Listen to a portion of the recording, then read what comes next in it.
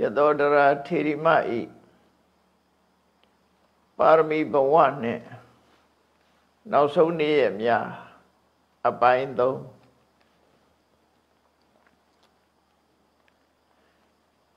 တိပင်္ဂရမြတ်စွာဘုရားကြွလာတော်မူတဲ့အခါမှာ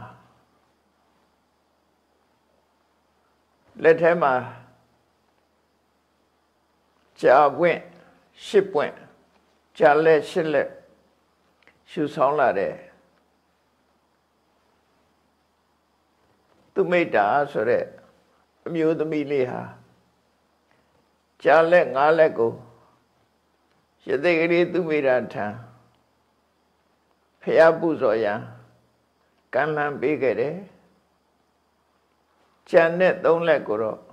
သူကိုယ်တိုင်ပူဇော်မယ်ဆိုပြီး တေနတတ္တိတမဟွန်တုဘောရထာယတောဣတိဖျားစုပန်တဲ့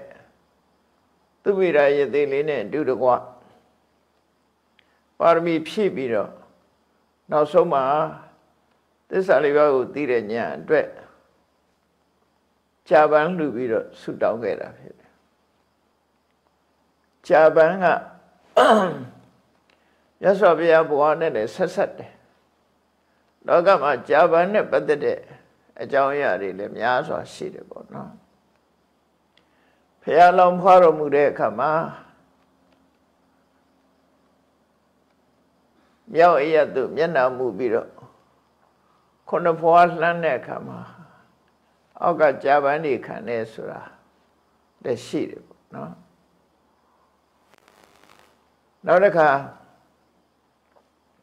တရားဟောတဲ့အခါမှာလည်းမြတ်စွာဘုရားသူ့ကိုယ်သူကြာနဲ့နိုင်ရှင်ပြီးတော့ဟောကြားခဲ့တဲ့ဟာတွေရှိတယ်မြတ်စွာဘုရားဟောကြားပုံကတော့ကြာဟာရှည်ထဲမှာပေါက်တယ်ကြီးတော့လေရေထဲမှာကြီးတယ်ရှည်ထဲမှာပေါက်ရေထဲမှာကြီးပြီးတော့ ရှင်မျက်နှာပြင်ပေါ်တက်ပြီးထိုကြပန်းဟာရှည်တွေနဲ့ရှည်တွေပိန်ပေကြံခြင်းမရှိဘူးပေါ့ရှည်မလူအဲ့ဒီကြလို့ပဲ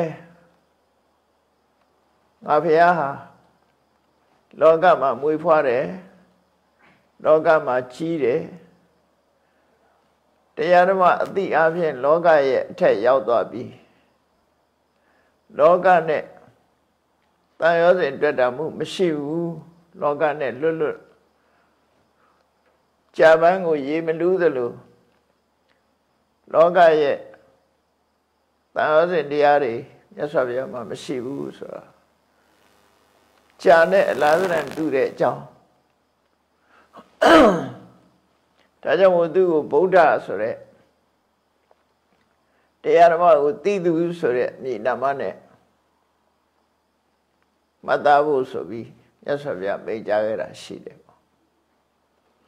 နောက်တစ်ခါတောထွက်တဲ့အခါကျတော့လေကြာပန်းနဲ့ပတ်သက်ပြန်တယ်မင်းသားဘုရားတောထွက်လာတဲ့အခါမှာသင်္ကန်းဝတ်เสียပါလာတာမဟုတ်ဘူးမင်းဝမင်းစားနဲ့ပဲညဝအင်ကြီးနဲ့ပဲထွက်လာတယ်လို့ဖြစ် အတော်မတောင်ကန်းရောက်တဲ့အခါကျတော့ဆန်းတော်ကိုရိပ်ပယ်လိုက်တဲ့အခါအဝတ်စားကမင်းသားအဝတ်စားမျိုးဖြစ်နေတယ်အဲ့ဒီမှာတန်အနိပြမကြီးကကဘာဥကာလကြာဘူးတဲ့ကရတဲ့သင်္ကန်းပြိခရာတွေကိုလာရောက်ပြီးတော့လှူဒန်းတာအဲ့ဒါကြာသင်္ကန်းလို့ခေါ်တာကြာဘူးထဲမှာပါရှိလာတဲ့ ကုသကံကြောင့်ဖြစ်ပေါ်လာတဲ့ကြာဘူးထဲမှာရှိတဲ့ဝတ်စုံကြာယုံနဲ့ယထာပြောတာမဟုတ်ဘူးကြာဘူးထဲမှာရတဲ့ဝတ်စုံပြိခရာ၈ပါးကအဲ့ဒီမဲ့ပါနေတယ်ပေါ့နော်အဲ့ဒီဝတ်စုံကိုလှူတာကိုပဲကြာသင်္ကန်းလို့ပြောတာကြာဘူးတဲ့ကရတဲ့သင်္ကန်းမို့ကြာသင်္ကန်းလို့ခေါ်တဲ့သဘောရှိတယ်ကြာဘူးတဲ့ကရတဲ့သင်္ကန်းကြာသင်္ကန်းကြာယုံနဲ့ ရက်တဲ့သင်္ကန်းလို့ဒီလိုဆိုတာမဟုတ်ဘူးပေါ့ ဒါလည်းသတိပြုเสียပေါ့ကြာသင်္ကန်းကြာသင်္ကန်းဆိုရင်ကြာရိုးတွေကြာဝင့်နေနဲ့ရက်တယ်လို့ထင်မှတ်ကောင်းထင်မှတ်လိမ့်မယ်အဲ့ဒါလို့မဟုတ်ဘူးကဝဥကာလကြာဘူးထဲမှာပြိခရ၈ပါးဟာပါရှိလာတယ်အဲ့ဒီပြိခရ၈ပါးကိုကဝဥကာလမှာဆိုလူပြေတွေမပေါ်သေးဘူးနတ်ပြေမပေါ်သေးဘူးပြမပြေပဲ ကဘာကြီးဟာစတင်ပြီးတော့ပေါ်လာတယ်။ဘာကြောင့်လို့ဆိုရင်ကဘာပြုတ်မိုးကြီးရွာတဲ့အခါကျတော့ဒီလေဟာပြင်းကြီးအကြီးကြီးထဲမှာဘေးကလေတူကြီးအောက်ကလေတူကြီးခံထားသည့်အတွက်ကြောင့်ရေပြင်းကြီးပဲဖြစ်နေတယ်။အဲ့ဒီရေပြင်းကြီးမှာအခုလွင်ပြင်တစ်ခုထွက်ကြည့်လိုက်မယ်ဆိုရင် ကိုပတ်ပတ်လဲမှာမိုးကုတ်ဆက်ဝိုင်း အပြရောင်ကြီးပဲတွေ့ရမှာဘေးကတစ်ပင်နေပါတွေတဲ့အထက်ရောက်သွားလို့ရှိရင်မိုးကုတ်ဆက်ဝိုင်းကြီးပဲတွေ့ရမှာအဲ့လိုတွေ့ရတဲ့အချိန်မှာအခုလိုတစ်ပင်နေပါတွေနဲ့အောက်ခြေကရေကြီးကိုတွေ့ရအောင်မဟုတ်သေးဘူးရေပြင်ကြီးကိုစတွေ့ရတာနော်ရှေးပြင်ကြီးကလည်းတဆုံးမိုးကုတ်ဆက်ဝိုင်းကြီးအပြာရောင်ကြီးပတ်ထားတဲ့ ရှေးပြင်ကြီးကိုပဲတွေ့ရမယ်အဲ့ဒီရေပြင်ထဲမှာကြာဘူးကြီးကထူးထူးဆန်းဆန်းဗဒ္ဒကဘာမှာကဘာဥကာလမှာငါးဘူးပေါ်ပေါက်လာတယ်တဲ့အဲ့တော့ကြာဘူးဆိုတော့ခုခေတ်ကြာဘူးသေးသေးလေးတွေတော့မအောင်မိနဲ့ပေါ့အချီးကြီးတွေနေမှာပေါ့ရှေးထဲမှာကြာဘူးကြီးတွေပေါ်လာတော့အဲ့ဒီကြာဘူးတွေထဲမှာကြာဘူးကိုချိပြီးတော့ဒီကဘာမှာဖရာဘက်နဲ့စုဖွင့်မယ်ဆိုတာကိုပြောတာဖြစ်တယ် တချို့ကဘာဥကာလမှာဆိုရင်ကြာဘူးကတဖူးပဲပေါ်တယ်တချို့ကဘာမှာနှစ်ဖူးတချို့ကဘာမှာသုံးဖူးတချို့ကဘာမှာလေးဖူးနဲ့ဘာရကဘာကျတော့၅ဖူးအဲ့တော့ဒီကဘာဟာဖះငါးစုပွင့်လိုက်ပဲဆိုရှေးပြင်းအခြေအနေတုန်းကအဲ့လိုကြားတွေပွင့်ခဲ့တာအဲ့ဒီတော့ကမြေပြင်းဆိုမပေါ်သေးဘူးရေပြင်းပဲရှိသေးတယ်ပေါ့ပြမကြီးတွေက ပြမဘုံနဲ့ဆက်ဆက်နေတဲ့အနေအထားမျိုးဖြစ်လို့ကြာဘူးကြီးတွေကဖရာတွေသာထိုက်တန်တဲ့ပြိခရာ၈ပါးကိုရှုပြီးတော့ပြမပြေမှာတိမ့်ထားတာဖြစ်တယ်အဲ့ဒီတိမ့်ထားတဲ့ကြာဘူးကိုလာရောက်ဆက်ကတ်သူကဂတိကာရပြမလို့ခေါ်တယ်ကသောမြတ်စွာဘုရားလက်ထက်တုန်းကသူဟာ အိုရင်းတဲ့ဘဝ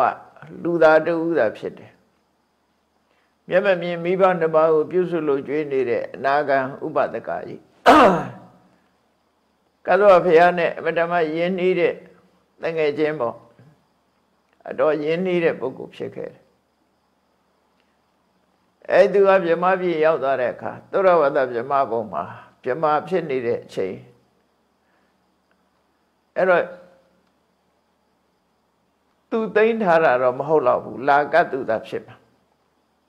ကဘာဥကာလမှာသူပြမမဖြစ်သေးတဲ့သဘောရှိတယ်။ကန္တဗဘုရားလက်ထက်တုန်းကသူကအိုးရင်းတယ်ဆိုတော့ကောရမဘုရားလက်ထက်ကျတော့သူပြမဖြစ်နေပြီကိုအဲ့ဒီအိုးရင်းတဲ့ဘဝကတည်သွားမှသူပြမဖြစ်တာအဲ့တော့ဒီဘုရားနှစုကြားမှသူပြမဖြစ်တာအဲ့တော့သိမ့်ထားတဲ့ပြမကတော့အသက်ရှိသေးသလားမရှိဘူးလားဆိုတာစာပေမှာဖော်မပြတော့ဘူး သိမ့်တာတော့ဂတိကာရပြမသိမ့်တာမဟုတ်ဘူးနော်အော်သူကခေါ်တော့မြတ်စွာဘုရားရဲ့ကိုဝကြာဘူးတဲ့ကရတဲ့ပြိခရရှိပါကိုလာကတ်သူသာလင်ဖြစ်တယ်ကသောဘုရားလက်ထက်တုန်းကသူကလူပဲလူဝကြောင့်လည်းဖြစ်ခဲ့တယ်အဲ့တော့ကကုတန္တမြတ်စွာဘုရားတော်ထွက်တဲ့အခါမှာကြာဘူးတဲ့ကရတဲ့သင်္ကန်းကိုကတ်တာလဲ ပြမတူဖြစ်လောက်တယ်တခြားပြမတူကောဏကမဏမြတ်စွာဘုရားပွင့်တော့ကဒီပရိက္ခရာရှိပါလာကတ်တာလည်းပဲအခြားပြမတူဖြစ်မယ်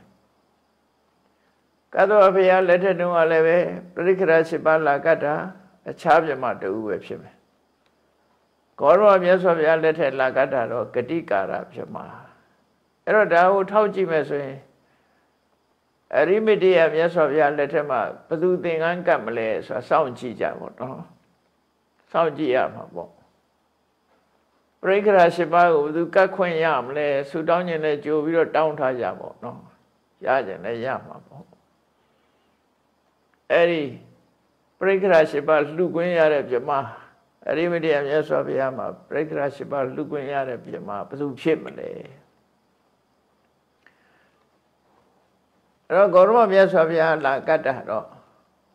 ခတိကာရခတိကာရဟာအဲ့ဒီတော့ကခတိကာရအိုးရင်းတဲ့အိုးလုံငန်းလှုပ်တဲ့အိုးရင်းတဲ့ဆိုတာအိုးလုံငန်းလှုပ်ပြီးတော့ကျောင်းဝက်စားတဲ့ပုဂ္ဂိုလ်ပေါ့အိုးဖုတ်တဲ့လုပ်ငန်းလုပ်တဲ့ပုဂ္ဂိုလ်အဲ့ဒီတော့ဂေါရမဘုရားရဲ့အလောင်းကသောတိပါဠဆိုတဲ့ပုံနာပုံနာတွေကဇမ်းမြင့်တယ် အိုးလုံငန်းလုပ်တဲ့လူတွေကဝိတ္တလို့ခေါ်တဲ့တဆင့်နေဇက်ကသို့တော့သူတို့ဟာတူနဲ့တူခင်မင်းညတယ်ပေါ့အဲ့ဒီတန်ရောစင်နဲ့ပြမပြည့်ရောက်တဲ့အခါလည်းပဲကောရမမြတ်စွာဘုရားထွက်တောထွက်လာတဲ့အခါသူပဲလာကတ်တဲ့သဘောရှိတယ်နော်ကတ္တဝဘုရားလက်ထက်တုန်းကတငယ်ချင်းပဲဘုရားစီမရောက်ရောက်အောင်ပို့တာအဲ့ဒီဂတိကာရဩရိမ့်တဲ့ကြီးပဲ သောတိပါဠလူလင်ဟာကတ္တဝဘုရားပွင့်ပြီးရင်အခုကောရမဘုရားအဖြစ်ပွင့်မဲ့ဘုရားလောက်မယ်ဒါပေမဲ့ကတ္တဝဘုရားစီခေါ်တာမရဘူးမလိုက်ဘူးအဲ့တုန်းကနော်ဘယ်ကကတ္တဝဘုရားစီခေါ်တာတုံးဆိုဂတိကာရပြမဂတိကာရဆိုတဲ့အိုးရင်းတဲ့ကြီးကခေါ်တာသူတို့ချင်းချင်းကလည်းတငယ်ချင်းနေဘလောက်ထီအောင်စောင်းလျှောက်တုံးဆိုတာ တရက်တော့အိုးရင်းတဲ့ဂတိကာရကသောတိပါဠပုံနာကိုတငယ်ချင်းဖះเจ้าတော့ဒီနာနီးနီးလေးပဲဖះเจ้าသွားရအောင်ဆိုတော့သောတိပါဠကဘာပြောတော့ဆိုအာဒီကရုံးနေစီဘာလို့သွားတွေ့မှာပုံနာနဲ့ကရုံးနဲ့မတည့်ဘူးသူကနော်ဒီကရုံးနေစီဘာလို့သွားမှာတော့လို့အဲ့လိုပြောခဲ့တဲ့ပုံကိုပဲ ဒါဖြင့်တငယ်ချင်းမလိုက်ချင်ဘူးဆိုရင်တို့ရေသွားချိုးရအောင်ဆိုအဲ့ကြတော့ခေါ်တော့လိုက်သွားတယ်ခုခေတ်လည်းဒီလိုပဲပွဲကြည့်သွားအောင်ဆိုလိုက်တယ်တရားပွဲသွားအောင်ဆိုလိုက်ချမှလိုက်တာတဘာဝပဲပေါ့နော်အဲ့တော့ကဲဖះเจ้าမသွားဘူးဆိုလို့ရှင်လေရေသွားချိုးတာပေါ့ဆိုပြီးတော့ရေသွားချိုးကြတယ်တူတူရေသွားချိုးအရေချိုးပြီးတဲ့အခါကျတော့တခါခေါ်ပြန်တယ်တကယ်ချင်းဒီနားလေးတွေမဲ့ဖះเจ้าသွားရအောင်ပါဆို မလိုက်တဲ့အခါကျတော့ပစိုးဆွဲပြီးတော့ခါဝတ်ပစိုးဝတ်ထားတဲ့အဝိုးကိုဆွဲပြီးတော့ခေါ်တယ်အဲ့လည်းမလိုက်ဘူးနောက်တစ်ခါထပ်ခေါ်တယ်မလိုက်တဲ့အခါကျတော့သပင်ဆွဲတယ်အဲ့ကြတော့သူတို့စီမှာသပင်ဆွဲတယ်ဆိုတာတမန်အပြင်ခေါင်းဆိုတာကင်လို့ရတာမဟုတ်ဘူးလေ ခေါင်းဆိုတာအကင်ခန္ဓာမဟုတ်ဘူး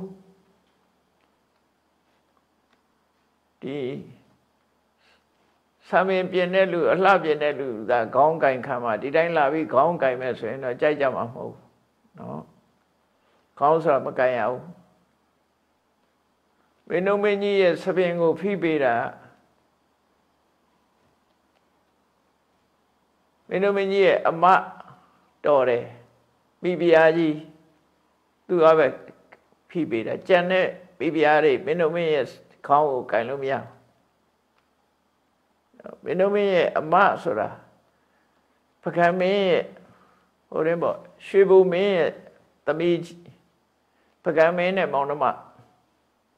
ဖေရင်တော်တဲ့ရုပ်ကတော့သိမချော်ဘူးလို့ပြောတယ်ဒါပေမဲ့မင်းတို့မင်းနန်းတက်တဲ့အခါမှာသူ့အမကိုပဲမိဖုရားမြောက်ပြီးတော့ သူကယာရုတစ်ခုအနေနဲ့ပေးရတာဟောမင်းတို့မင်းကအဲ့ဒီမိဖုရားကြီးကအဲ့ဒီမိဖုရားကြီးတူပဲမင်းတို့မင်းရဲ့ဆပင်ကိုဖိလိမ့်ပြင်ဆင်ပေးတာကြံတဲ့ဟာတွေမကန်ရဘူးခေါင်းကန်လို့ရှိရင်ဘုံနှိမ့်တယ်လို့ယူဆတဲ့ခက်ပေါ့နော်အဲဒါကြောင့်လို့ကန်မခံဘူးလို့ရာဇဝင်ထဲမှာအဲ့လို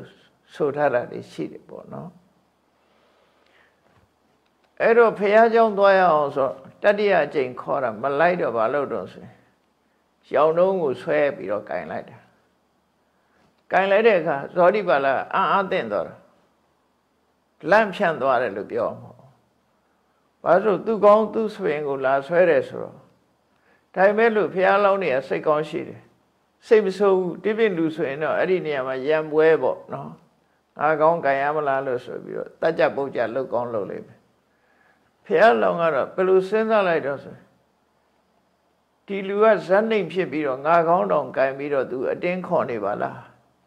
ဧကနိဋ္ဌအကျိုးရှိလို့နေမှာပဲလို့စဉ်းစားလိုက်တယ်အဲ့တော့မင်းငါကောင်းတော့မကြိုင်နဲ့တော့မဆွဲနဲ့ငါလိုက်မယ်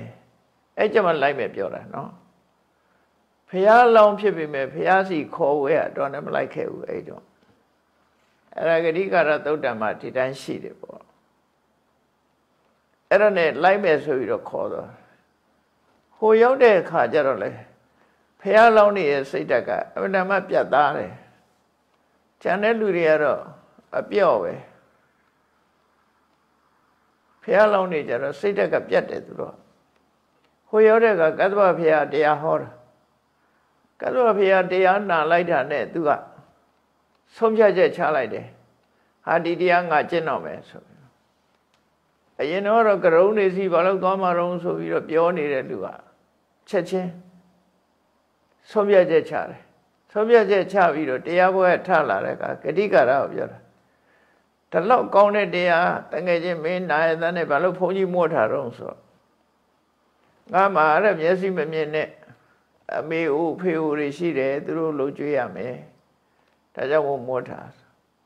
ငါတော့ဝတ်တော့မယ်ဆိုပြီးတော့ ချက်ချင်းပဲဆုံးဖြတ်ပြီးတော့ချက်ချင်းဘုန်းကြီးဝတ်လိုက်တာအဲ့ဒီတော့ဟိုပြီးတော့ဘုရားဟောတဲ့တရားဓမ္မတွေကိုသင်ယူတယ်အဲ့ဒီဘဝမှာ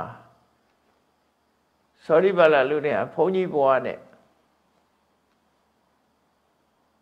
ဘဝစသိမ့်တယ်ပေါ့အဲ့ဒါကြောင့်ဂေါရမဘုရားရဲ့အလောင်းဟာလေးသိင်ကျင်တဲ့ကဘာတသိန်းပါရမီဖြည့်မယ်ဘုန်းကြီးဖြစ်တာကိုးကပဲဖြစ်ဖူးတယ်ဆို အဲ့ကသဗ္ဗဘုရားလက်ထက်မှာဒါနောက်ဆုံးဖြစ်တဲ့ဘုန်းကြီးဘဝဘုရားဓမ္မဘုန်းကြီးအဲ့တော့ဘုန်းကြီးဆိုတာလဲဝိုခဲမြပဲเนาะအဲ့ဒီလိုစိတ်တက်ကသူကထက်မြက်ကြတယ်တခါတည်းဆုံးဖြတ်ချက်ချပြီးတော့သင်္ကန်းဝတ်လိုက်တာအဲ့တော့ဒီလိုကြာနဲ့ပတ်သက်လာလို့ရှိရင်သူတို့ဘဝဟာဆက်ဆက်မှုရှိအခုလည်းပဲဟို ဆူတောင်းတဲ့အခါမှာလဲကြာပန်းနဲ့ဆူတောင်းတာဖြစ်တယ်လေးသိခြင်းတဲ့ကဝရသိဖျားဖြစ်မယ်လို့ဗျာဒိတ်တောင်မရသေးဘူးသူမိရာယသိလေးသူမိတ်တာဆိုတဲ့သူတို့သမီးလေးကတွေ့တဲ့အခါမှာ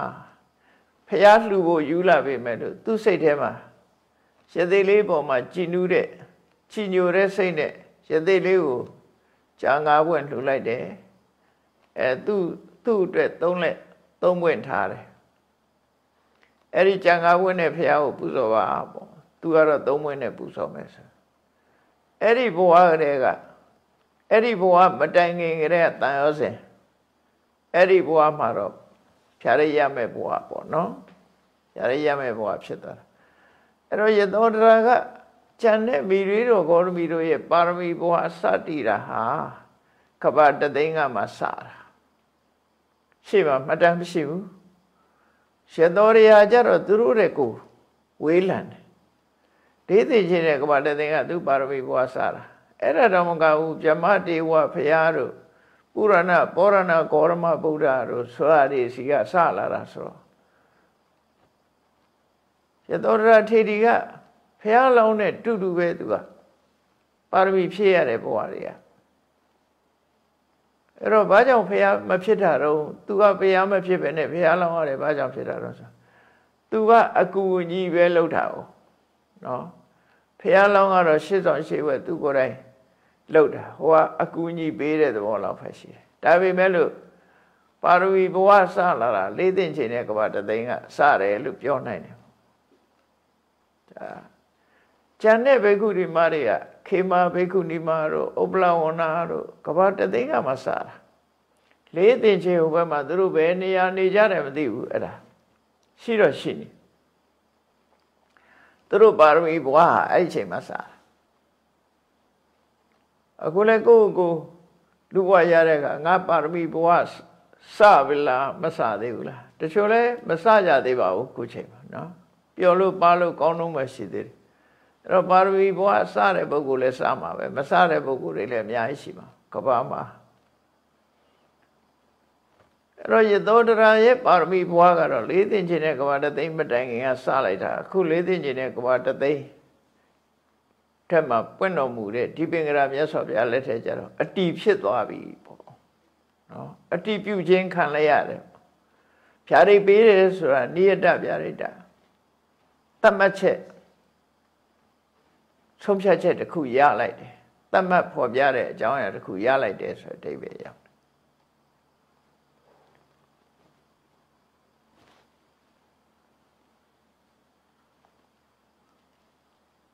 အဲ့ဒါလို့ရသေးလေးလက်ထဲကြာပွင့်ငါးပွင့်ကြာလက်ငါးလက်သူ့လက်ထဲမှာသုံးလက်ထားပြီးတော့သူတို့ဟာအတူတကွဆုပ်ပန်လိုက်ကြတယ် အဲ့ယသိဆုပ်ပန်ပုံကိုရသောတရာထေရီမကဘယ်လိုပြောတော့ဆိုဣတိဂဟိတဝပုပ္ဖာနိအာဂိသန္တမဟာယတံသူဝိရယသိဟာတဲ့သူလက်ကမ်းလိုက်တဲ့ကြာပန်း၅ဘွဲ့ကြာဘွဲ့၅ဘွဲ့ကိုရှူရှူပြီးတော့အာဂိသန္တမဟာယတံကြီးမားသောများစွာသောခြံရရှိပြီးတော့ကြွတော်မူလာတဲ့ ဒီပင်ကရာမြတ်စွာဘုရားကိုတဲ့ပူစေသည့်စနတမစ္စေလူလူပိဋကအလည်းမှာပဲဒီပင်ကရာမြတ်စွာဘုရားကိုပူဇော်လိုက်တယ်သူကမ်းလိုက်တဲ့ကြာ၅ပန်းကြာပွဲ၅ပွဲနဲ့ရသေးလေးကဒီပင်ကရာမြတ်စွာဘုရားကိုလှူဒန်းလိုက်တယ်။ဘာအတွက်သူလှူဒန်းတာတော့ဆိုဘောဓထာယမဟာဣတိတဲ့။မြင့်မြတ်သောရသေးသည် တပ္ပယုတဉာဏ်ရဖို့ရအတွက်ဆုပန်ပြီးတော့ကြာ၅ပန်းကြာပွဲ၅ပွဲကိုမြတ်စွာဘုရားကိုပူဇော်လိုက်တယ်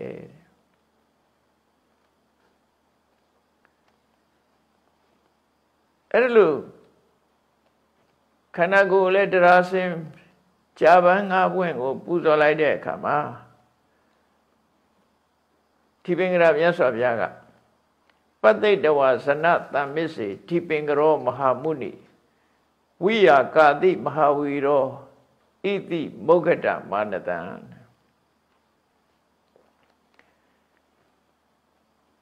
ထူးခြားထင်ရှားတဲ့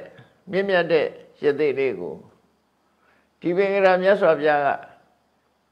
လူတုပရိသတ်ရဲ့အလယ်မှာကြည့်ပြီးတော့ရှစ်သိလေးကိုဗျာဒိတ်စကားမိတ်ကြားခဲ့ပါတယ်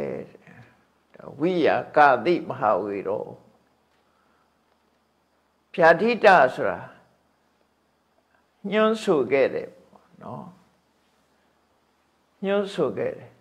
ပစ္စုပန်ခြေတွေကိုကြည့်ပြီးအနာဂတ်ဖြစ်ပေါ်မှာကိုညွှန်းဆိုတာ focus ဆိုတဲ့ဟာမျိုးပဲညှို့ဆိုပေးလိုက်တာပေါ့နော်ပြားတဲ့စကားအဲ့လိုရသေးလေးကို သူဝိရရသေးကိုပြားတဲ့ပေးပြီးတဲ့အခါမှာပန်းသုံးပွင့်ကြာပန်းသုံးပွင့်ဆက်ကတ်တဲ့သူမိတ်တာဖြစ်တဲ့ရသောတရာထေရီမအလောင်းကိုလည်းပဲဒီပင်ကရမြတ်စွာဘုရားကဖြာဒိတ်ပေးခဲ့တယ်တဲ့အဲ့တော့အပရိမေယေဣတောကပ္ပိဒီပင်ကရောမဟာမုနိ အတိုင်းတာမရှိတော့အောင်ကြာညောင်းတဲ့ဒီကဘာကစပြီးလေးသိင်ချင်တဲ့ကဘာတသိမ်းမှာတဲ့ဒီပင်ကရာမြတ်စွာဘုရားဟာမမကမ္မံဝိယကာတိဥစုဘဝမဟာမုနိဒီပင်ကရမြတ်စွာဘုရားဟာသူ့ဘဝရဲ့ဖြောင်းမြောက်မတ်မတ်အကျိုးပေးမဲ့အနေထားတစ်ခု သူ့ရဲ့ကုသကံကို ဖွင့်ဟပြီးတော့အနာဂတ် ဖြာရိတ်စကားကိုမိန့်ကြားလိုက်တယ်တဲ့ယသိကြီးကိုယသိဒီပင်ကရာမြတ်စွာဘုရားကသူမိရာယသိနဲ့ဒီသူမိတ်တာဆိုတဲ့အမျိုးသမီးလေးဂျပန်လူတာကိုကြည့်ပြီးတော့ဒီပင်ကရာကဒီပင်္ဂရာမြတ်စွာဘုရားကသူမိတ်တာဆိုတဲ့အမျိုးသမီးရဲ့ အချောင်းဗျာဒိတ်ဘယ်လိုမိန့်ကြားတော့ဆိုသမစိတ်တာသမကမ္မာသမကာရီဘဝိတတိပိယဟိတတိကံမေနတုံရှထယမဟာဣတိသူမိရယသိကိုအိုမြင့်မြတ်သောယသိတင့်အတွက်ဟောဒီကလေးမလေးကစုပန်နေတယ်သူမိတ်တာကစုပန်နေတယ်တင့်အတွက်ကို သမစိတ်တာသူဟာအမြဲတမ်းတူညီသောစိတ်ရှိသူဖြစ်လိမ့်မယ်သမကမ္မတူညီသောအလုပ်ကိုလုပ်လိမ့်မယ်သမကာရီညီတူညီမျှအလုပ်ကိုလုပ်လိမ့်မယ်ပိယဟိတတိအမတမချစ်ခင်မြတ်နိုးတတ်တဲ့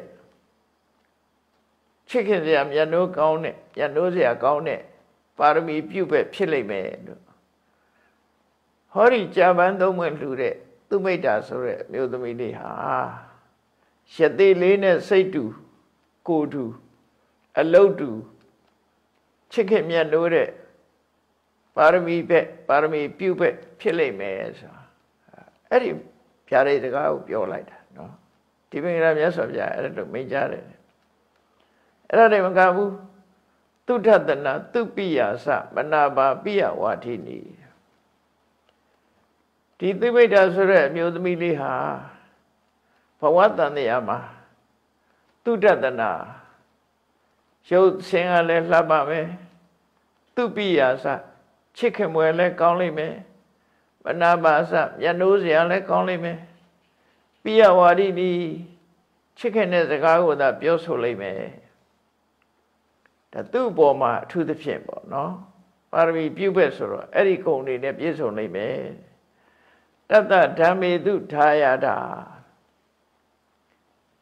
ဟောကြားလိုက်တဲ့တရားတွေရဲ့အမွေခံပုဂ္ဂိုလ်ဖြစ်ပြီးတော့ဝိဟရိတတိအဋ္ဌိကာနောက်ဆုံးဘဝမှာဓမ္မကိုအမွေခံပြီးတကိုးချီမာတဲ့ဘေကုဏီမှာဖြစ်လိမ့်မယ်အဲ့ဒါကမိန်ကွန်း ဖြာရိတ်ထဲမှာထည့်ပြီးတော့ပြောတယ်ဒါယသောတာထေရီမကသူ့ကိုသူ့မိတ္တာဘွားကဖះကဘလို့ပြာရိပေးခဲ့တယ်ဆိုတာပြောပြတာယထာပိဗန္ဒတာမုခာအနုရခတိတာမိနော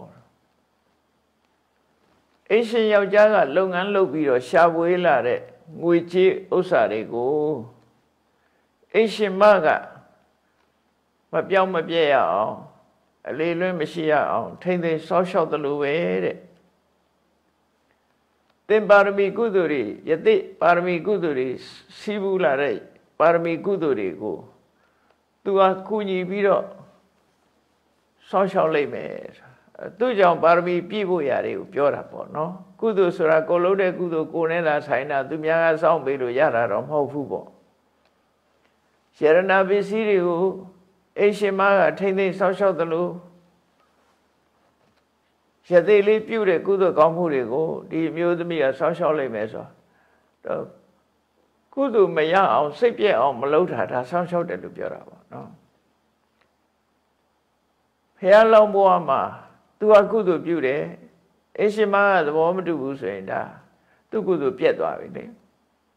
အဲ့တော့သဘောတူပြီးတော့ပေးခြင်းအပြင်သူကုသိုလ်ဆောင်းရှောက်ပေးတဲ့သဘောမျိုးဖြစ်တယ်ပေါ့ဒီလိုဆိုလိုတာပေါ့ ကုသိုလ်တွေကိုစောင့်ရှောက်ပေးလိမ့်မယ်တဲ့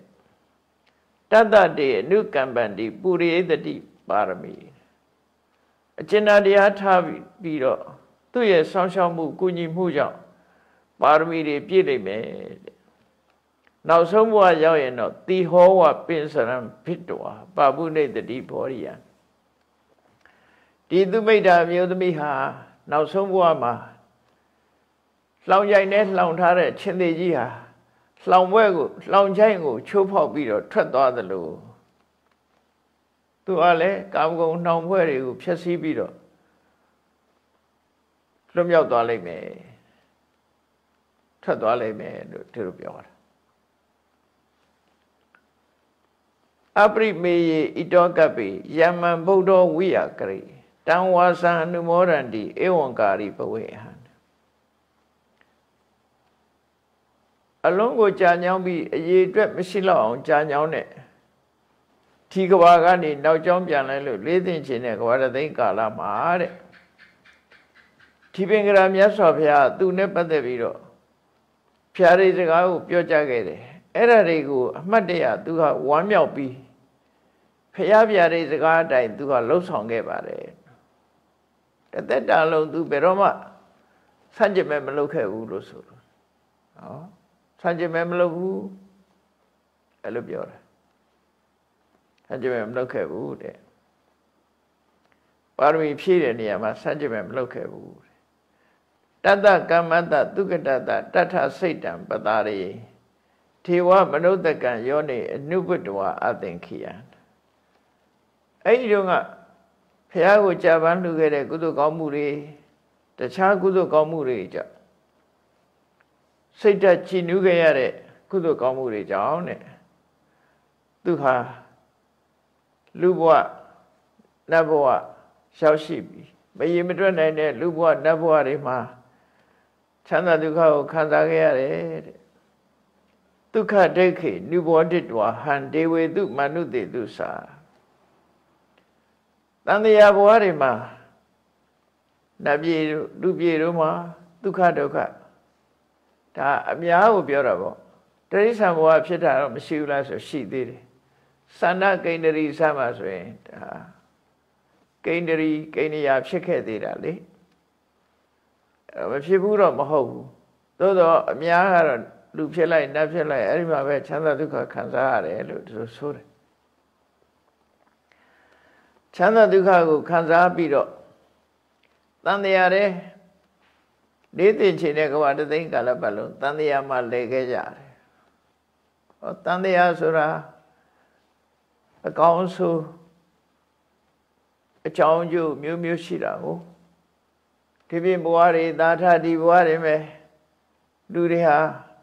ကောင်းတဲ့လောကရန်နဲ့တွေ့တဲ့အခါတွေ့တယ်မကောင်းတဲ့လောကရန်နဲ့တွေ့တဲ့အခါတွေ့တယ်အကောင်းကြီးဆိုတာမရှိဘူး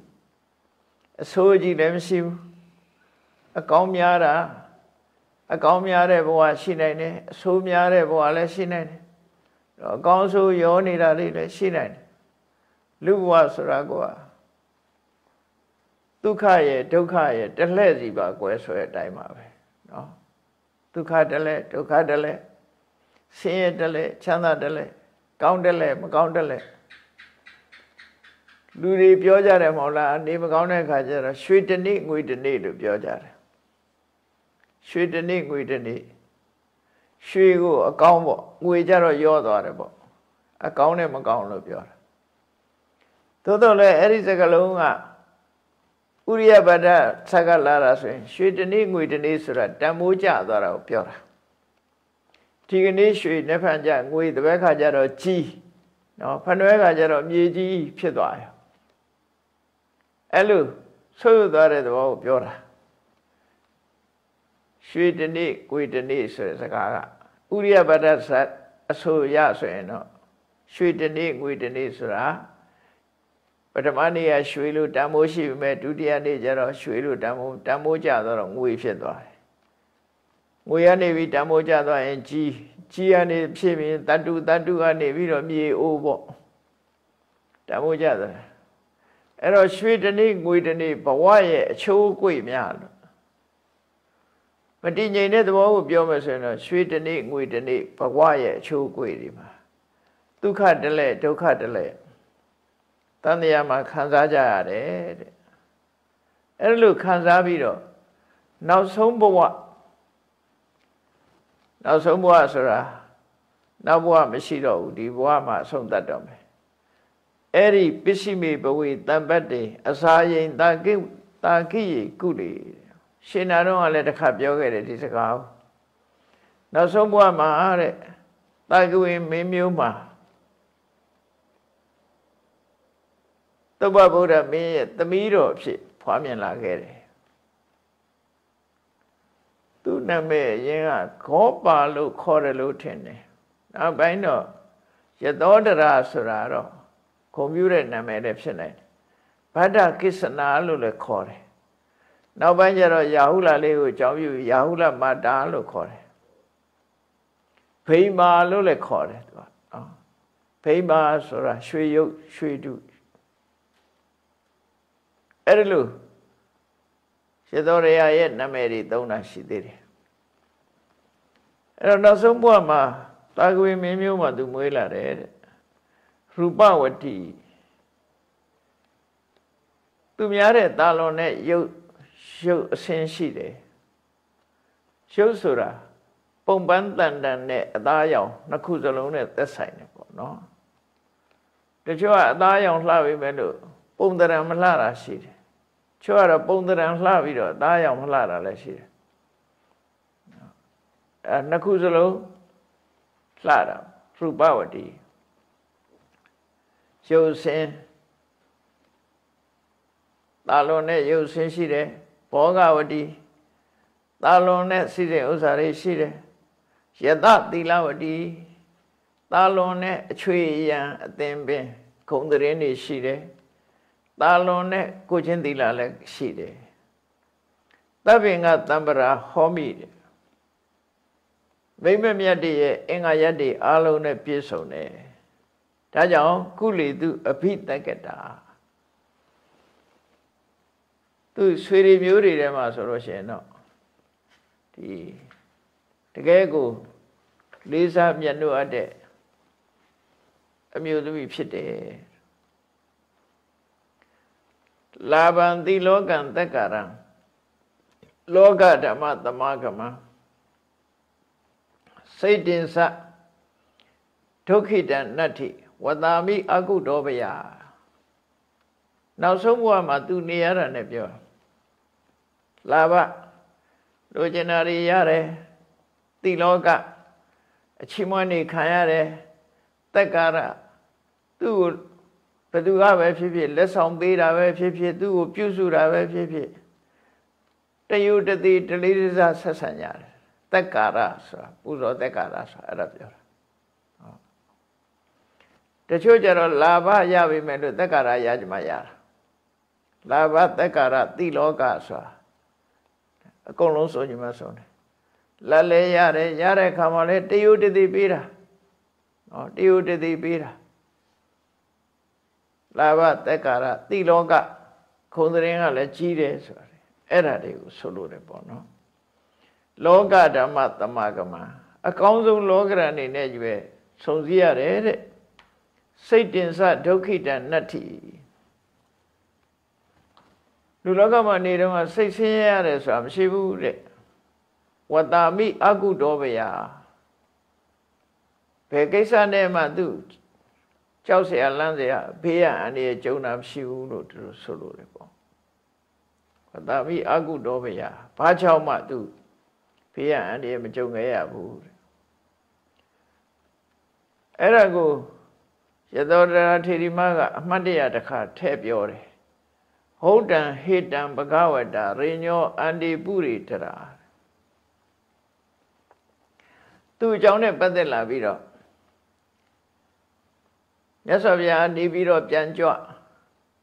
ကပိလုနေပြီးတော့ရောက်တဲ့အခါမှာသုတ္တရဏမင်းကြီးရဲ့နန်းဆောင်အတွင်းမှာရှတော်ရယာနဲ့ပတ်သက်ခဲ့တဲ့ ရသောရယမိဖုရားရဲ့ခုံချေးစုတွေကိုမြတ်စွာဘုရားပြောခဲ့တယ်ပေါ့အဲ့ဒီတာကွေမင်းတွေရဲ့ရှေ့မှာရသောရယရဲ့ခုံချေးစုတွေကိုဟောပြောခဲ့ဘူးတဲ့နန်းတော်ပရမပြန်ကြွားတဲ့အချိန်မှာပေါ့ဘုရားဖြစ်လို့ခုနှစ်နှစ်မြောက်ဘုရားနန်းတော်တောထွက်သွားပြီးတဲ့နောက်ခုနှစ်နှစ်မြောက်မှပြန်ရောက်တာ6နှစ်တရားကျင့်ဘုရားဖြစ်တော့တရားလှည့်ဟောတာတစ်နှစ် ခုနှစ်နှစ်မြောက်တဲ့အခါဒါကြောင့်မလို့တောထွက်တုန်းကမွေးဖွားတဲ့ရဟုလာလေးကနန်းတော်ပြန်ရောက်တဲ့အခါမှာအသက်9နှစ်အရွယ်ဖြစ်သွားတာနော်အသက်9နှစ်အရွယ်မှာပြန်တွေ့တယ်အဲ့ဒီမှာ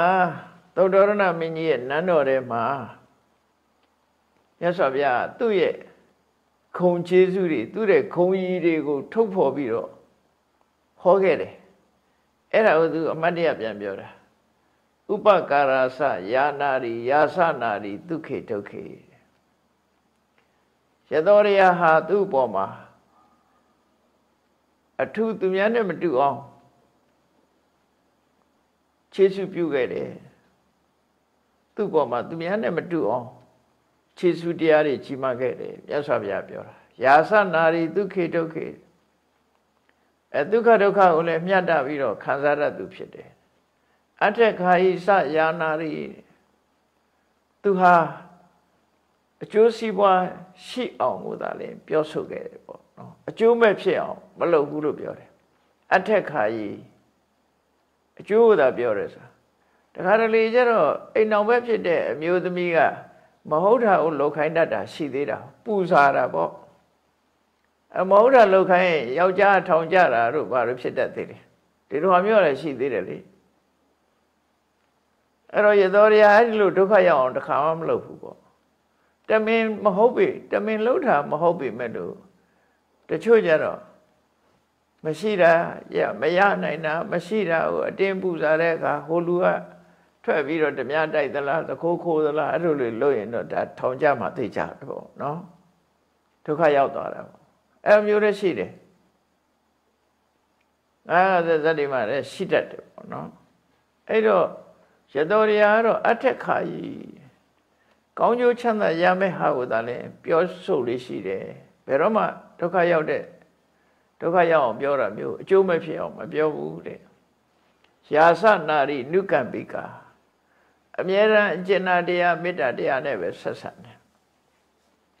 ဒါသူ့ရဲ့ဂုဏ်ကျေးဇူးတွေကိုမြတ်စွာဘုရားကရသောရဟာဘဝတစ်လျှောက်လုံးမှာ အကူအညီများစွာပေးခဲ့တယ်ဒုက္ခဒုက္ခကိုမျှပြီးတော့ခံစားတတ်တယ်တချို့ကျတော့ချမ်းသာတဲ့အထက်မှာလက်တွဲပြီးမှဆင်းရဲပြီဆိုခွဲသွားတာရှိသေးတယ်လေတချို့ကရှိတယ်ဆင်းရဲတဲ့အခါကျတော့လက်တွဲဖြုတ်သွားတယ်ချမ်းသာတော့တော့အတူတော်လက်တဲပြီးဆင်းရဲပြီဆိုရင်အတူဆင်းရဲမခံဘူးလက်တွဲဖြုတ်သွားတယ်အဲ့ဒါမျိုးမဟုတ်ဘူးတဲ့ ချမ်းသာဒုက္ခကိုလည်းအတူခံစားသလိုဆင်းရဲဒုက္ခကြတော့လည်းအတူလက်တွဲမဖြုတ်ဘူးဒါမိတ်ဆွေဆိုရင်လည်းမိတ်ဆွေကောင်းကအဲ့တိုင်ပဲတချို့မိတ်ဆွေမကောင်းတဲ့မိတ်ဆွေတွေကြတော့သူကချမ်းသာတော့တော့ဆက်ဆံတယ်ဆင်းရဲတာနဲ့ပတ်သက်ပြီးအတိမလို့တော့ဆင်းရဲသွားပြီဆိုအတိမလို့တော့အဲ့လိုလူတွေများတဲ့လောကမှာနော်ချမ်းသာတဲ့တော့ဗမာစကားမှလည်းရှိတယ်လေ အိမ်နောက်ဖေးမှာဘူးပင်ဆိုင်တတ်တယ်ဘူးသီးတီးလို့ရှိရင်တော့အမျိုးတွေပေါ်တယ်ဟိုကအမျိုးတော်တယ်အဲ့ဒါကိုပြောကြတာဘူးသီးတီးတော့အမျိုးတော်တယ်ဆိုတာဘာလို့လို့ဆိုဘူးသီးကြော်လေးများစားရမလားအသုံးမဟုတ်ဘူးသီးလေးများအလကားရမလားဆိုတဲ့စိတ်ပဲပဲအဲ့ဒါသူကလည်းအမျိုးငါလည်းအမျိုးသူကလည်းမိတ်ဆွေငါလည်းမိတ်ဆွေဘူးသီးတီးရင်အမျိုးတော်ကြတယ်ဆိုတာချမ်းသာတဲ့လူကိုမျိုးတော်မဲ့လူတွေပြည့်တာ ကျမ်းဖန်ပြီးတော့ကိုမျိုးတော်တာတချို့ကြတော့နာမည်ကြီးလာပြီဆိုရင်ကျမ်းဖန်ပြီးတော့မျိုးတော်ဘာမှအမျိုးမတော်ရင်လည်းရက်မျိုးရက်ရွှေရက်မျိုးဆိုလုပ်လိုက်တာနော်တနေ့သေးသားတို့တနိုင်ငံသေးသားတို့ထီအောင်လုပ်လို့ရတယ်ပေါ့အဲ့တော့ဒါလူသဘာဝတွေပြောပြတာပါလူသဘာဝတွေဒီတိုင်းပဲ အဲ့တော့ယသောတရာနဲ့ပတ်သက်ပြီးမြတ်စွာဘုရားပြောတာတော့ဒီမျိုးသမီးဟာတဲ့ယသောတရာဟာဘဝတန်တရားမှာအလုံးကိုခြေဆုပြုတတ်တဲ့မျိုးသမီးဖြစ်တယ်တဲ့ဒုက္ခဒုက္ခမှာလည်းချမ်းသာတဲ့အခါမှာအတူတကွရှိတယ်လို့ဆင်းရဲတဲ့အခါမှာလည်းအတူတကွပူပေါင်းနေအထက်ခါကြီးတကယ်အကျိုးရှိမဲ့အကြောင်းအရာများကိုသာပြောဆိုလေးရှိပြီး အနုကံပိကအကျဉ်းတရားနဲ့မေတ္တာတရားနဲ့နေထိုင်သူဖြစ်တယ်အကျဉ်းနဲ့ဆက်ဆံတာမေတ္တာနဲ့ဆက်ဆံအဲ့ဒါလို့သူ့ရဲ့ခုံလေးကိုပြောခဲ့တယ်ရသော်ဗျာဟောခဲ့တယ်ဆိုတာကိုရသောတရာထေရီမကအမှတ်တရပြန်ပြောပြအဲ့ဒါလို့ပြောပြီးတော့သူတို့ပါရမီဖြည့်ခဲ့တဲ့ဘဝတွေမှာဘလောက်များသလဲဆိုတာ တန်ဗုဒ္ဓရလို့ရှင်တန်ဗုဒ္ဓထဲမှာဖရာတွေပါတယ်မဟုတ်လားတန်ဗုဒ္ဓအထဝိသင်္စဒွါရသင်္စသဟတကေစအဲ့တန်ဗုဒ္ဓမှာရှိတဲ့ဖရာတွေဟာဒါရသောတရထေရီမပြောခဲ့လို့အဲ့ဒီတန်ဗုဒ္ဓကထာပေါ်လာတဲ့သဘောရှိတယ်သူတို့ပါရမီဖြည့်ခဲ့တာအဲ့ဒါလောက်များတဲ့ဘုရားတွေရှိမှပါရမီဖြည့်ခဲ့တယ်လို့ပြောတာဒီပင်ကရာမြတ်စွာဘုရားကျမ ရှည်တွက်လို့ရတာ24စုပဲရှိတယ်လေဒီပင်ကရာအစရည်တွက်ရင်24စုပဲအဲ့ဒီပင်ကရာမြတ်စွာဘုရားမတိုင်ခင်ကဖွင့်ခဲ့တဲ့ဘုရားတွေဟာအလုံးဟာဘယ်လောက်ရှိတယ်ဆိုတာတန်ဗုဒ္ဓဂါထာရလို့ရှင်အဲ့ဒီဂါထာအတိုင်းသာမှတ်ထားလိုက်အဲ့ဒါဘယ်ကနေသဲလွန်စားရတာတော့ဆိုဒီယသောရာထေရီပရံကနေသဲလွန်စားရတာယသောရာထေရီကိုယ်တိုင်ပြောသွားတဲ့စကားပဲသူတို့ဖျားပေါင်းပလောင်းနဲ့ကြုံတွေ့ခဲ့တယ်ဆိုတာကိုပြောပြတာ နော်အဲ့ဒါကိုပြောမလို့ပင်စကောတိတတဗုဒ္ဓနဝကောတိတတနိစာဣတိတံဒေဝဒေဝနာမဟာဒါနဗုဒ္ဓယေသူတို့အလှကြီးပေးခဲ့တဲ့ဖရာတွေရဲ့ဖရာတွေဖရာပေါင်းမလို့မှသူတို့အလှကြီးပေးခဲ့တဲ့ဆိုတာအမှတ်တရပြန်ပြောပြတာအဲ့တော့သူ့ရဲ့ဘဝ မှတ်မိတဲ့ဘဝဟာအမှန်တန်ကိုများတယ်လို့ပြောရမှာပေါ့နော်တာမန်ပုဂ္ဂိုလ်တွေကဥပမာပဲအာဘဇာတိဂေါရမီတို့ခေမာထေရီတို့ဥပလဝန္နာတို့ကကဘာတသိမ့်မဲ့သိတယ်သူတို့ဟိုဘက်မသိဘူးရသောရာကျတော့အဲ့လိုမဟုတ်ဘူးသူကသူပြန်ပြပြတာလေချိမယ်ဆိုရင်နော်ပိစကောတိတတဗုဒ္ဓနဝကောတိတတနိစာခရီ900သောဖရာ ဂရီ900သောဖရာဂရီ900ဂရီ900ဣတိတံဒေဝဒေဝနာမဟာဒါနဘဝတ္တယေဂရီ900ဂရီ900သောဖရာရဲ့ထံမှာဖရာတွေကိုအလှူဒါနာကြီးလုပ်ခဲ့ဘူးတဲ့တဲ့အဓိကာရမဟာမရှံဓမ္မရာဇသူနောဟိမေမြတ်စွာဘုရားကိုလျှောက်တယ်တရားမင်းဖြစ်တော်မူသောအရှင်ဘုရားတဲ့တပည့်တော်မှ ပြုလုပ်ခဲ့တဲ့ကုသိုလ်ကောင်းမှုတွေလွန်ကဲတဲ့လွန်ကဲမြင့်မြတ်တဲ့ကုသိုလ်ကောင်းမှုတွေကိုနားထောင်ကြည့်ပါဆိုပြီးတော့လျှောက်တာဧကတတကောတိတတာ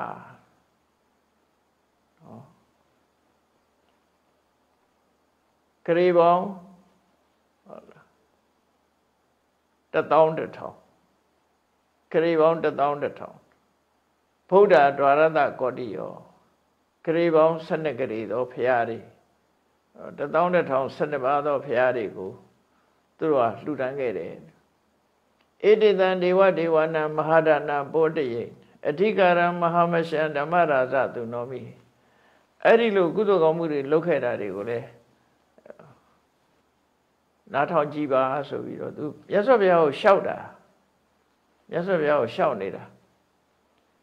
ဝိသကောတိတတဗုဒ္ဓတိန်သကောတိတတနိစာ ကရေ2000ကရေ3000သောဘုရားရှင်တွေကိုလည်းလှူဒါနလုပ်ခဲ့ဘူးတဲ့ကရေ4000ကရေ9000သောဘုရားရှင်တွေထံမှာလည်းလှူဒါနလုပ်ခဲ့တယ်ကရေ6000ကရေ9000သောဘုရားတွေထံမှာလည်းပဲလှူဒါနလုပ်ခဲ့တယ်ကရေ8100သောဘုရားရှင်တွေမှာလည်းပဲအလှူဒါနလုပ်ခဲ့တယ် ဂရေ900သောဘုရားတွေထံမှာလည်းပဲအလှူဒါနလုပ်ခဲ့တယ်ဆိုပြီးတော့အဲကိန်းကနန်းတွေကိုတိုးတိုးပြီးတော့ဖော်ပြသွားတယ်ကောတိတတသဟတနိဟွန်တိလောကကနာယကဂရေပေါင်းတသိန်းဘုရားရှင်တွေလောကမှာပွင့်ပေါ်တဲ့အခါမှာသူတို့အလှူဒါနလုပ်ခဲ့ဘူးတယ်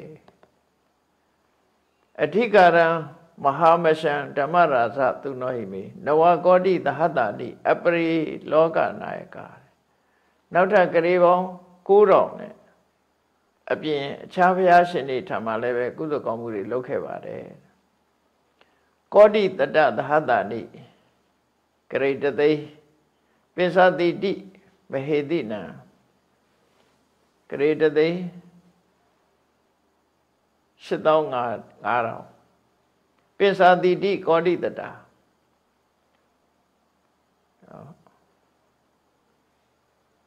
ဂရေပေါင်း8500သ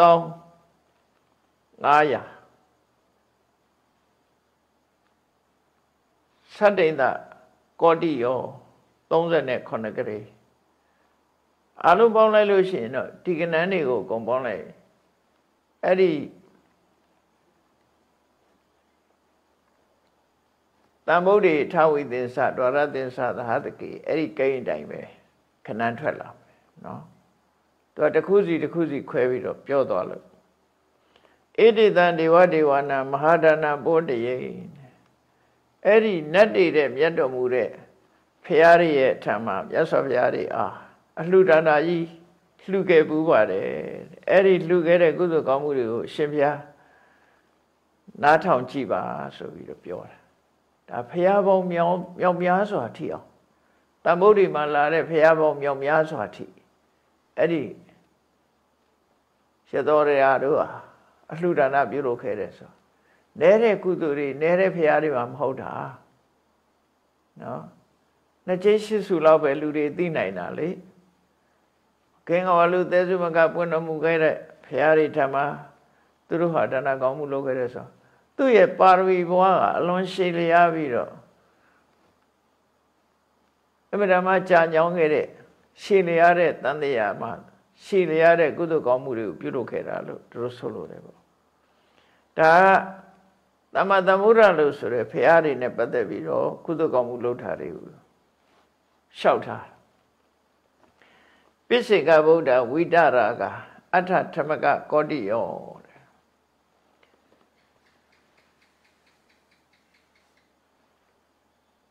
ဂရီပေါင်း64ဂရီပေါ့64ဂရီသောပိစိကဗုဒ္ဓအရှင်မြတ်တွေကိုလည်းအလှူဒါနပြုခဲ့ဘူးတယ်ဒါပိစိကဗုဒ္ဓပေါင်းတွေ့ဆုံခဲ့တဲ့ပိစိကဗုဒ္ဓပေါင်း64ဂရီလို့ဖော်ပြထားတယ်ခိနာတဝဝိတမလားအာသောကုံပြီးတော့ကိရိတာအညစ်အကြေးတွေကင်းစင်တဲ့ဗုဒ္ဓသာဝကဖရာရဲ့တပည့်ယဟန္တာတွေအသင်ခိယာ မရေတွက်နိုင်တော့အောင်ကိန်းကနမတင်တော့ပဲနဲ့အများကြီးပဲအဲ့တော့ပိစိကဗုဒ္ဓဆိုတာဖျားမပွင့်တဲ့ကဘာမှာပွင့်တဲ့ဖျားငယ်လို့ခေါ်ကြတယ်ပိစိကဗုဒ္ဓနော်ပိစိကဆိုတာတိဒန့်ကိုယ်ပိုင်ဉာဏ်နဲ့ဗုဒ္ဓသိသူတမန်တမောရလို့မဟုတ်ဘဲနဲ့ကိုယ်ပိုင်ဉာဏ်နဲ့ထိုးရင်သိတဲ့ပုဂ္ဂိုလ်တွေပေါ့ကိုယ်ပိုင်ဤစနစ်နဲ့ အသိဉာဏ်ရသွားတယ်သူများစီကတာဝကတွေကြတော့မြတ်စွာဘုရားတရားနာပြီးတော့မှဖះစီကသင်ပြီးတော့မှသိတာပိစိကဗုဒ္ဓကဘသူစီကမှမသင်မဲနဲ့ကိုယ်ပိုင်ဉာဏ်နဲ့သိလို့ပိစိကဗုဒ္ဓလို့ခေါ်တယ်နော် particular ဗုဒ္ဓလို့အဲ့ဒါပြန်ညာတိတံဖះသူကိုယ်တိုင်ပိစိကဗုဒ္ဓတဆူနဲ့တဆူကတရားဥရပုံချင်းမတူကိုယ်ပိုင်နီလန်းနေကိုယ်ပိုင်နီးစနစ်တွေ ဝိပဿနာရှုတဲ့အခါကိုယ်ပိုင်ဤစနစ်တွေနဲ့ရှုပြီးတော့တရားဥရသွားတဲ့ပုဂ္ဂိုလ်ဒီလိုဆိုလိုတာပေါ့နော်နိုင်ငံသားတွေကတော့ပြစ္ဆေကဗုဒ္ဓတွေကို silent ဗုဒ္ဓလို့တချို့ကဆိုကြတယ်အမှန်တော့ silent ဗုဒ္ဓဆိုတော့မဟုတ်ပါဘူး silent ဗုဒ္ဓဆိုတာစကားမပြောတုံးဒီဘောတရားမဟောတတ်ဘူးဆိုတဲ့အဓိပ္ပာယ်နဲ့ပြောတာမှန်တော့ဟောပါတယ်ပြစ္ဆေကဗုဒ္ဓဟောတယ်ဒါပေမဲ့ပြစ္ဆေကဗုဒ္ဓတရားနာလို့ရှင်တော့အကျွတ်တရားရတာတော့ သူကကိုယ်ပိုင်စနစ်ပဲခေါ်တာကိုလူတွေရဲ့စရိုက်တွေဘာတွေကိုသိပြီးခေါ်တာမဟုတ်ဘူးသူသိတဲ့လမ်းကြောင်းတိုင်းပဲသူပြန်ပြောတာသူကျင့်ခဲ့တဲ့အတိုင်းပြောမယ်ဆိုရင်ကိုထွေးတရားဟောတယ်လို့ပြောမှာခုခေတ်ကမလေးကိုထွေးတရားတဲ့ကိုထွေးတရားပဲပိုကောင်းတယ်စာထွေးကမကောင်းဘူးတလို့လို့ဖြစ်နေနော်ကိုထွေးနဲ့စာထွေးပဲကျက်ပြန့်တယ်ဆိုစာထွေးကပိုကျက်ပြန့်တယ်ကိုထွေးဆိုတာနည်းနည်းပဲ ဥပမာတစ်ခုပြောပြမယ်ရွှေကုံဖျားအခောက်ခောက်ရောက်တဲ့ပုဂ္ဂိုလ်သူကိုယ်တိုင်ကိုထွေးပေါ့ရွှေကုံဖျားကိုခဏခဏသွားဖူးတယ်ကိုထွေးအေးရွှေကုံဖျားကိုတစ်ခေါက်ပဲရောက်ဘူးတယ်ဒါပေမဲ့သမိုင်းကိုကြည်အောင်ဖတ်ထားတယ်အဲ့ဒီလူနှစ်ယောက်သိတာဘယ်သူကပိုများမလဲနော်စဉ်းစားကြည့်ရမှာကိုထွေးပြောနိုင်တဲ့လူကတောက်တဲ့တောင်ဘယ်နာရှိမှန်းသိမှာမဟုတ်ဘူး သမိုင်းဖတ်ထားတဲ့လူကရွှေရုံဖះမှာတောက်တဲ့ရှိတယ်ဆိုတာသိတော့ဘယ်နာမှာအောင်းဝယ်ရှိတယ်ဆိုတာသိသိတယ်ရွှေရုံဖះမှာအချိန်ချင်းရောက်ဖူးပဲလို့ရွှေရုံဖះမှာတောက်တဲ့ရုပ်ရှိတယ်ဆိုတာမသိကြဘူးသိတဲ့လူနဲတယ်ပေါ့သိတဲ့လူလည်းသိပါတယ်ပေါ့အဲ့ဒီတောက်တဲ့ဟာအပေါ်တက်ထားလားအောက်ဆင်းတာလားဆိုတာတခါလျှို့ဝှက်ချက်ဖြစ်သွားပြန်